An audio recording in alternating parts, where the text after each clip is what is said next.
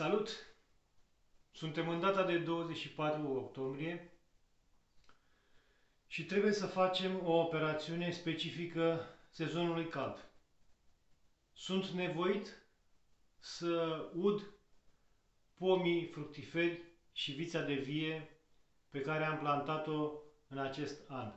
Deci trebuie să aduc un aport de apă plantelor tinere. De ce? Pentru că de trei luni de zile în uh, zona aceasta nu a poluat niciun strop de apă.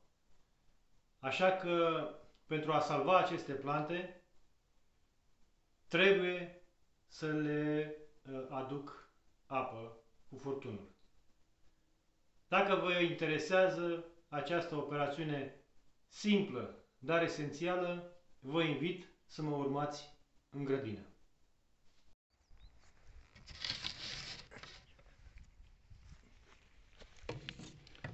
Cuplăm furtunul în caseta de branșament a apei.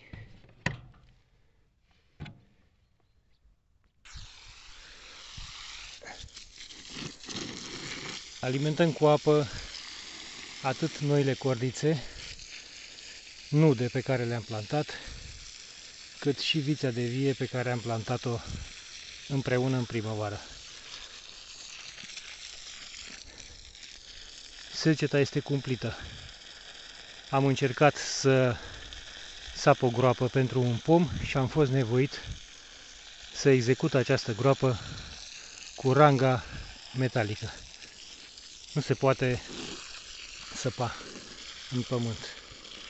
Până la adâncimea de 50 de centimetri, pământul este foarte, foarte uscat. Nu există strop de umiditate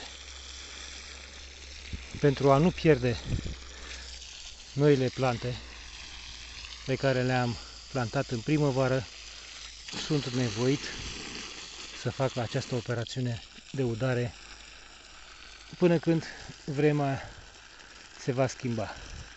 Dar dacă astăzi le administrez între 5 și 10 litri de apă pentru fiecare plantă,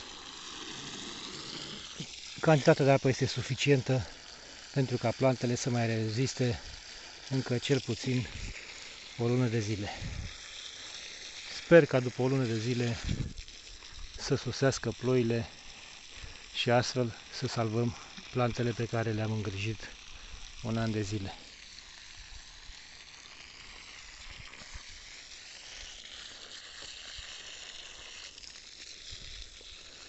După cum se vede, plantele sunt uscate, dar sunt uscate uh, din punct de vedere fiziologic. Este normală uscarea frunzelor și maturarea cordițelor. După cum se vede, codițele se lemnifică, își schimbă culoarea în brun roșcat.